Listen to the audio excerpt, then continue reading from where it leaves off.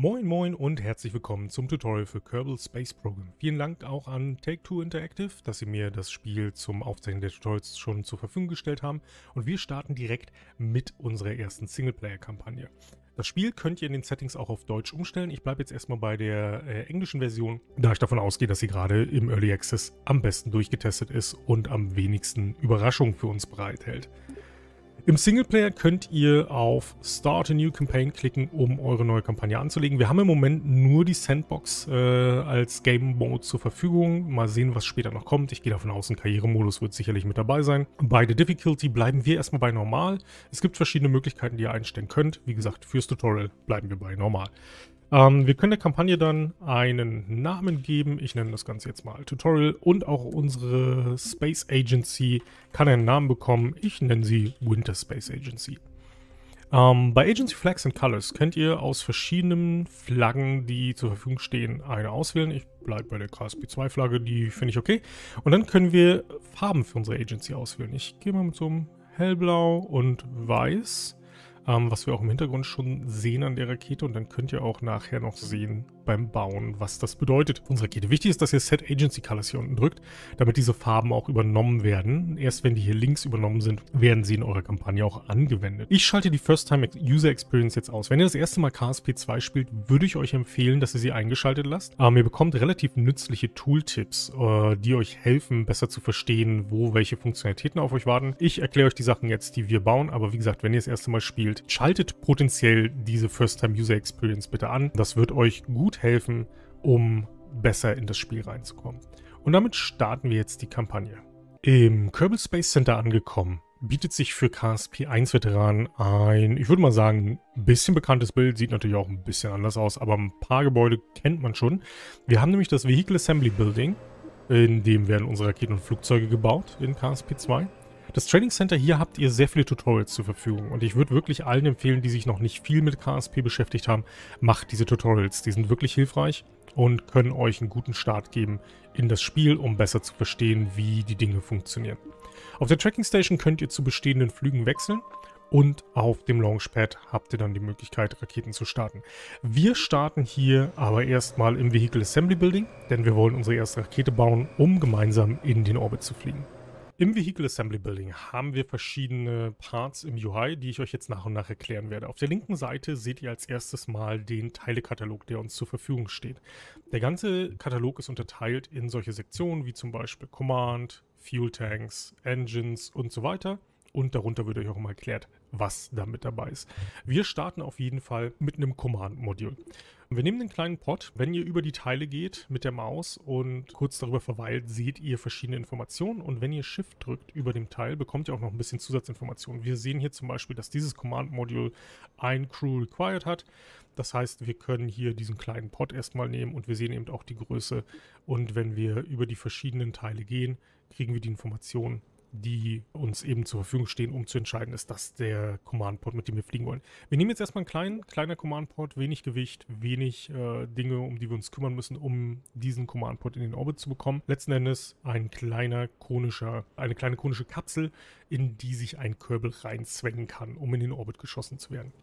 Die Kapsel wollen wir natürlich mit beinhaltetem Kerbal äh, auch wieder sicher zurückbringen. Deshalb benötigen wir ein paar Schutzmaßnahmen. Ihr könnt im Vehicle Assembly Building übrigens mit der rechten Maustaste um euer Teil herum gucken. Wenn ihr mit dem Mausrad scrollt, könnt ihr sogar bis in die Kapsel rein scrollen oder auch ein bisschen weg. Und wenn ihr die mittlere Maustaste gedrückt haltet und die Maus hoch und runter bewegt, könnt ihr auch die Höhe anpassen, äh, aus der ihr das Raumschiff anguckt. Das hilft relativ gut beim Bauen, diese Bewegungsmöglichkeiten zu haben. Jetzt wollen wir als allererstes mal einen Fallschirm anbauen. Ganz unten unter Utilities seht ihr auch schon Parachutes and Quality of Life. Und da legen wir einfach mal los und nehmen uns einen ersten Fallschirm dazu. Der XS-Fallschirm, ihr seht, die Kapsel wird hier oben sehr klein, ist mit dem MK16 dann auch genau die Größe, die wir brauchen, passt da hervorragend oben drauf. Und damit haben wir schon mal sichergestellt, dass wenn die Kapsel zurück nach Kerbin fällt, sie mit einer Geschwindigkeit ankommt, die für den Kerbal überlebbar ist. So würde ich es mal formulieren. Als nächstes müssen wir uns gegen die Hitze schützen, wenn wir aus dem Orbit zurückkommen. Und da haben wir die Thermal-Kategorie. Ähm, dort findet ihr Hitzeschilde. Hier können wir jetzt nicht den XS nehmen, der würde natürlich nur auf diese Größe passen, aber unsere Kapsel ist ein bisschen breiter, da sie ja konisch ist von der Form her. Und wir nehmen einen Small Hitzeschild, der auch perfekt unter die Kapsel drunter passt. Und damit sind wir jetzt eigentlich schon so weit vorbereitet, dass die Kapsel an sich zurückfallen kann nach Kerbin. Jetzt wollen wir aber mit der Kapsel natürlich noch irgendwie erstmal ins Weltall kommen. Dafür müssen wir jetzt den Teil der Rakete bauen, der uns eigentlich erst in den Orbit bringt. Das erste Bauteil, was wir dafür brauchen, kommt aus dem Bereich Coupling, denn wir wollen diese Bauteile später abwerfen können. Stack Decoupler oder auch Stack Separator helfen euch dabei, Baugruppen voneinander zu trennen. Stellt euch das wie kleine explosive Ringe vor. Die hier sind inline, diese hier sind seitlich, also radial angebracht und wir haben später auch noch Docking Ports. Der Unterschied zwischen einem Stack Decoupler und einem Stack Separator ist, dass der Stack Decoupler an den Baugruppen hängen bleibt, während der Stack Separator quasi ähm, als ein eigenes Teil zwischen den Baugruppen abgetrennt wird. Wir nehmen jetzt mal den Stack Decoupler packen den unter die Rakete und dann können wir als nächstes unseren Tank anbauen. Denn den Tank wollen wir ja abwerfen können. Wir gehen hier wieder in die Small-Kategorie und dieser mittelgroße Tank, der FLT 400, reicht uns von der Länge für unsere Oberstufe eigentlich aus. Den könnt ihr wieder unter dem Decoupler anbringen, damit wir ihn abwerfen können, bevor wir in die Kerbin-Atmosphäre wieder eintreten nachher. Und als nächstes brauchen wir ein Triebwerk. Das findet ihr in der Engine-Sektion. Auch hier wieder gibt es verschiedenste Triebwerke in der Small-Kategorie. Seid ein bisschen vorsichtig. Das Rapier ist eher für Space Planes, also für Flugzeuge gedacht. Es kann quasi Luft atmen, aber dann auch umgeschaltet werden. Ähm, und was wir suchen, ist ein sehr effizienter Vakuumantrieb, der nicht so viel wiegt. Zum Beispiel hat das Terrier eine halbe Tonne Gewicht, wenn wir uns das angucken, und eine Vakuumeffizienz, das ist der letzte Wert, die ISP, von 335 Sekunden. Wenn wir jetzt mal im Vergleich uns zum Beispiel das Swivel-Triebwerk angucken, hat das ein Gewicht von 1,4 Tonnen. Wir müssen also mehr Gewicht bewegen und nur eine Effizienz von 320 Sekunden. Das heißt, das Terrier ist für uns eine ganz gute Wahl für unser Oberstufen-Triebwerk. Und damit haben wir die erste, also die zweite Stage eigentlich aus der richtigen Richtung äh, schon fertig, mit der wir nachher in den Orbit fliegen werden. Wir können jetzt oder müssen jetzt natürlich erstmal noch vom Launchpad wegkommen, denn wenn wir uns jetzt den Engineer Report mal angucken, das ist eine weitere Funktionalität, die euch beim Bauen sehr helfen wird, bekommt ihr hier Trust Weight angezeigt.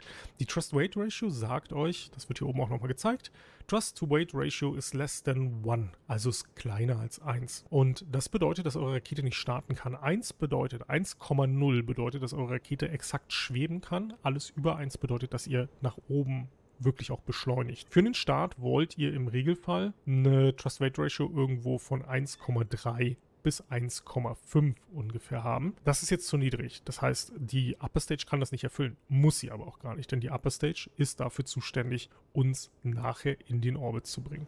Das heißt, wir kümmern uns jetzt darum, eine Stufe zu bauen, mit der wir tatsächlich auch in den Orbit kommen. Dafür benutzen wir einen Stack Decoupler und zwar einen Small Stack Decoupler. Auch wieder, also benutzen den wieder inline, so wie wir ihn vorher auch schon angewendet haben und gehen zurück zu den Fuel Tanks. Wenn ihr ein bisschen Erfahrung gesammelt habt, wird diese Länge Fuel Tank euch ausreichen, um in den Orbit zu kommen. Aber da wir jetzt im Tutorial das erste Mal gemeinsam starten und hier und da noch kleinere Fehler passieren oder die Flüge vielleicht noch nicht ideal sind, machen wir nochmal genau den gleichen Tank, den wir in der Oberstufe schon drin haben, an die Rakete mit ran, sodass wir ein bisschen mehr Treibstoff mitnehmen. Und dann gehen wir zurück zu unseren Motoren und wir hatten uns das Swivel schon angeschaut, ähm, nehmen das Swivel hier noch mit. Warum nehmen wir das Swivel? Das Swivel, wenn wir hier mal in die Infos gehen, hat eine Vectoring Range äh, und kann steuern. Wir haben zusätzlich noch das Reliant, das ist ein bisschen leistungsstärker. Wenn ihr euch die Max Trust Werte anguckt, ist das bei 260 bzw. 221 Kilonewton, während das Swivel 188 und 215 hat. Aber wir wollen ein Triebwerk, das lenken kann, damit unsere Rakete einfacher zu ähm, steuern ist. Und Engine Gimbal ist die Möglichkeit, das Triebwerk zu benutzen, um eure Rakete zu steuern. Also das Triebwerk quasi in verschiedene Richtungen zu bewegen. Das ist hier möglich, deshalb nehmen wir das Swivel-Triebwerk. Und jetzt den ersten Blick, den wir jetzt mal werfen, ist in unseren Engineers Report. Wir haben auch kein Warnzeichen mehr hier oben und wir sind jetzt bei einer Trust Weight Ratio von 1,55 0. Das ist fast sogar schon ein bisschen viel für den Start, aber das ist okay. Damit können wir arbeiten. Und dann wollen wir zu guter Letzt aus Stabilitätsgründen noch in die Aerodynamik-Sektion gehen und wollen ein bisschen runterscrollen, bis wir bei den Stabilizern angekommen sind, die Stabilisierungsflächen. Und dann nehmen wir die XS-Fläche. Und jetzt können wir diese im verteilten Modus anbauen. Hier unten habt ihr auch ein Symbol dafür. Hier könnt ihr das auch umstellen, wenn ihr draufklickt. Also zum Beispiel, wenn ich jetzt hier draufklicken würde, kann ich mit draufklicken das immer eins höher stellen. Vierfachverteilung, sechsfach, das geht bis achtfach, dann fängt es wieder von vorne an.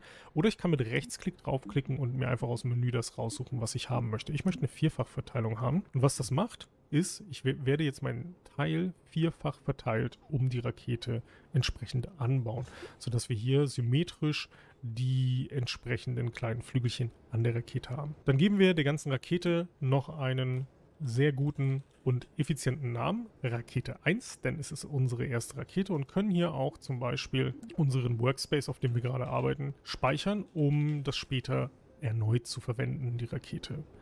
Das speichere ich jetzt mal so weg. Und dann ist noch interessant, bevor wir starten, auf der rechten Seite unser sogenanntes Staging. Staging sind die Schritte, die wir mit der Leertaste durcharbeiten. Das heißt, unser erstes Stage zündet das erste Triebwerk, dann haben wir einen Decoupler, dann haben wir das nächste Triebwerk, dann haben wir wieder einen Decoupler, dann kommt irgendwann der Fallschirm. Das kann man ein bisschen effizienter gestalten, indem man zum Beispiel sagt, ich drag und droppe das, ähm, den, den Decoupler und das nächste Triebwerk in dieselbe Stufe. Das passiert dann quasi zeitgleich. Ähm, das kann helfen, um einfach ein bisschen weniger stagen zu müssen und direkt mit der Rakete loszufliegen. Wir haben jetzt hier auch die Informationen, was wir an Delta V haben. 4215 Meter pro Sekunde. Wir brauchen ungefähr 3400 Meter pro Sekunde, um in den Kerbin-Orbit zu kommen, wenn wir vernünftig fliegen. Das heißt, wir haben viel Toleranz, aber wir wollen ja auch noch wieder zurück. Das ist eine gute Sache. Das heißt, wir können jetzt auf den großen grünen Launch-Button drücken und dann geht's los in Richtung Orbit. Auf dem Launchpad angekommen, begegnen euch eine Menge neue Instrumente. Wir fangen mal ganz auf der linken Seite an. Auf der linken Seite seht ihr zum ersten erstmal eure Schubanzeige. Die ist wahrscheinlich auf 100%. Mit Steuerung könnt ihr die senken, mit Shift könnt ihr sie steigern. Das Ganze geht auch mit X sofort auf 0 und mit Y sofort auf Vollschub. Daneben habt ihr eine Geschwindigkeitsanzeige, die ist momentan auf Oberfläche eingestellt. Durch Klicken kann man die auch verstellen, auf wie hoch sind wir im, im, äh, auf den Orbit gesehen. Wir sind im Moment von der äh, wir sind im Moment auf den Orbit gesehen schon etwas in Bewegung, weil Kerbin sich dreht und für die Oberfläche stehen wir natürlich still. Rechts daneben, jetzt aber kommt der Höhenmesser. Äh, mit dem sehen wir, wie hoch wir über dem, über dem Boden sind, beziehungsweise wie hoch wir über dem, wenn wir es umstellen, nautischen Null sind. In der Mitte dazwischen ist unser Navball. Da erkläre ich gleich noch ein bisschen was zu, bevor wir starten.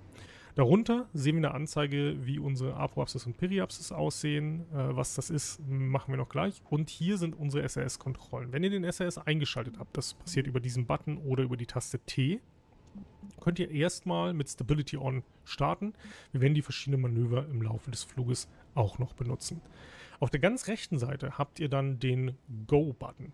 Und was wir gleich tun werden, wenn wir mit dem Go-Button starten, ist, wir werden einen kleinen Kipper in Richtung Osten machen. Osten findet ihr auf eurem Navball, wenn ihr euch den anguckt, sind hier kleine Zahlen. Und hier steht eine 90. Wir wollen nachher, wenn wir starten, beginnen in Richtung dieser 90 zu kippen. Das heißt, sucht euch, bevor ihr startet, schon mal, wo die 90 auf eurem Navball ist und dann könnt ihr in die entsprechende Richtung steuern. Nach oben kommt ihr mit S, nach unten kommt ihr mit W, nach links mit A, nach rechts mit D. Also eine ganz typische WASD-Steuerung. Oder wenn ihr einen Joystick benutzt, dann eben das. Aber auf der Tastatur ist es WASD. Und für uns ist die 90 hier. Guckt vorher, wo sie ist, damit ihr wisst, in welche Richtung ihr starten müsst. Und dann würde ich sagen, drücke ich mal auf den Startbutton und wir gehen in die Launch-Sequenz.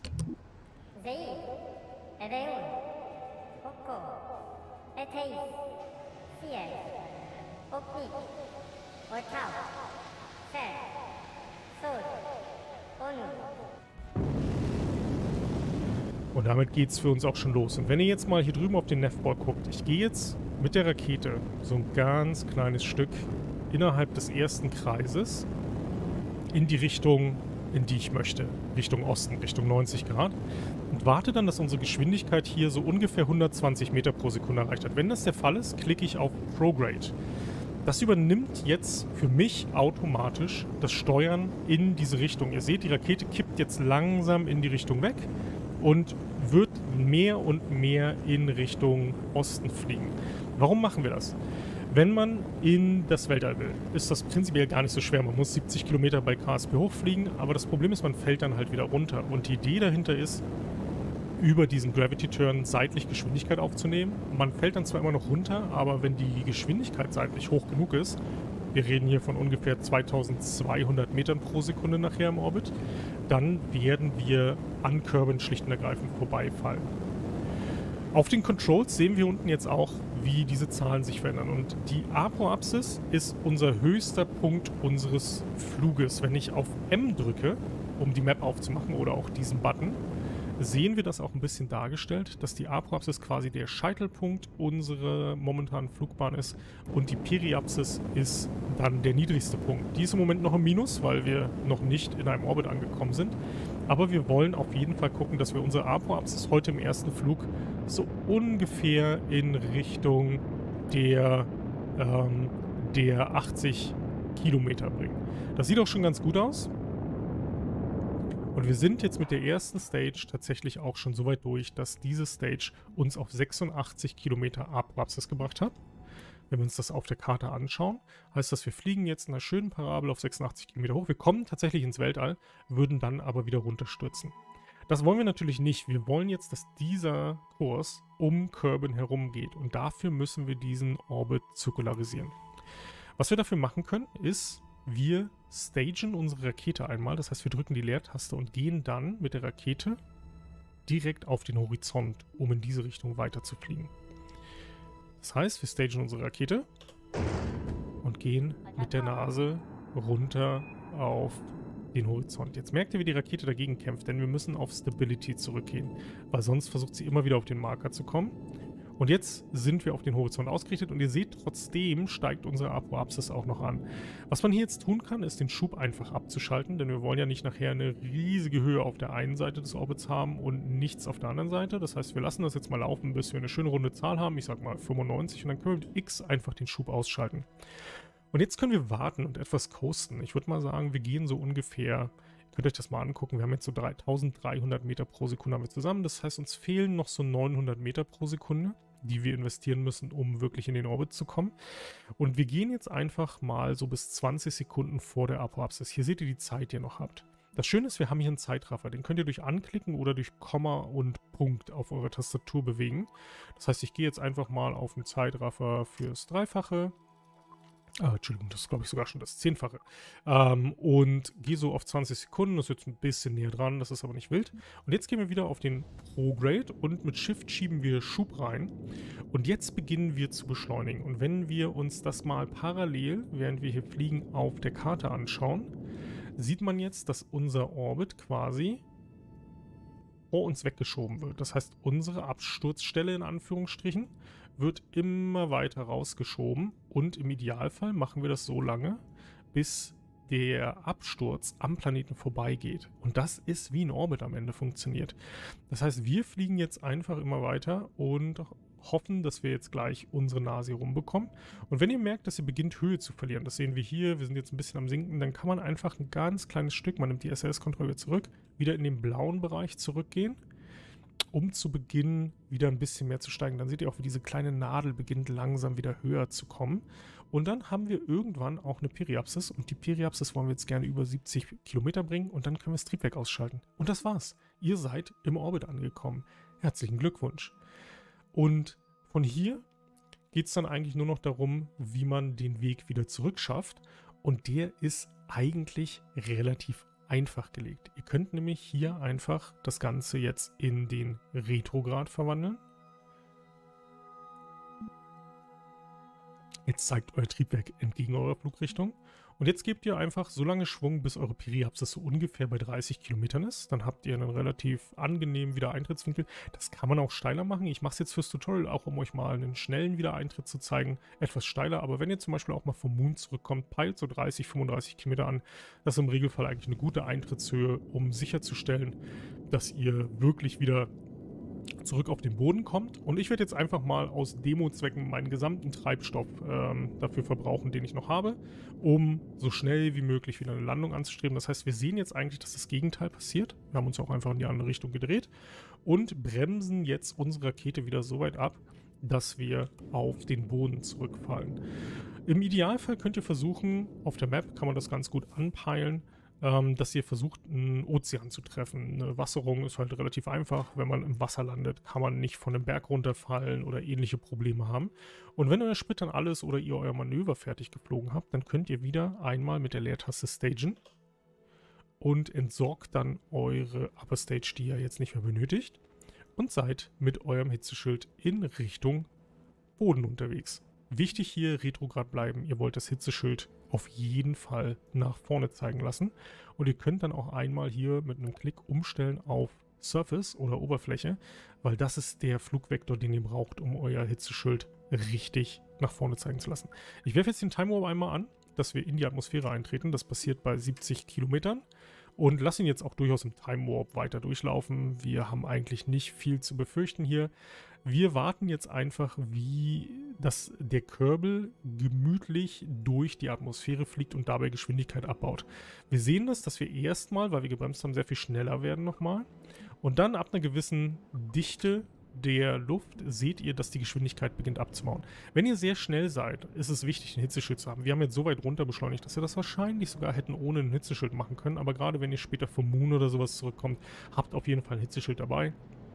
Der kostet nicht viel, der wiegt nicht viel und der sorgt dafür, dass euer Körbel auf jeden Fall sehr, sehr gesund am Boden ankommt.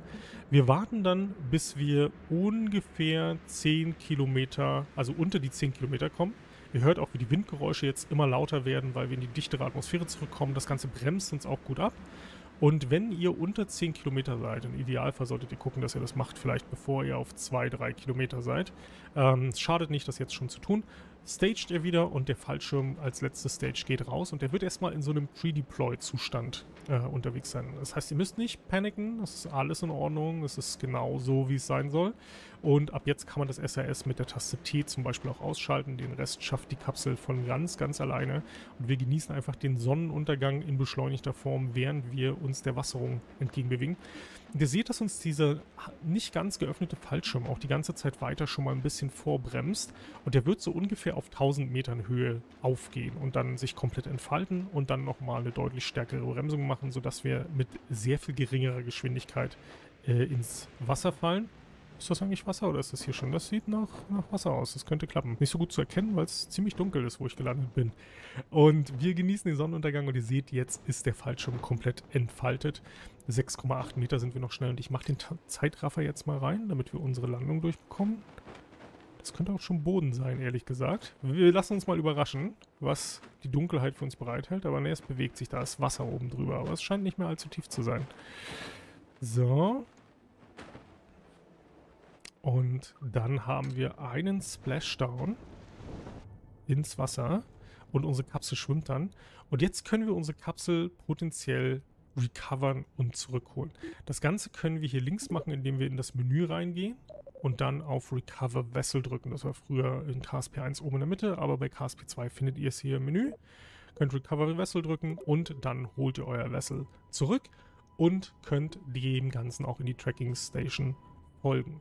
Das war unser erster Orbitalflug und in den nächsten Tutorials gucken wir uns auch noch an, wie man zum Moon fliegt und wie Rendezvous und Docking funktionieren. Vielen Dank fürs Zuschauen, mein Name ist Robert und tschüss.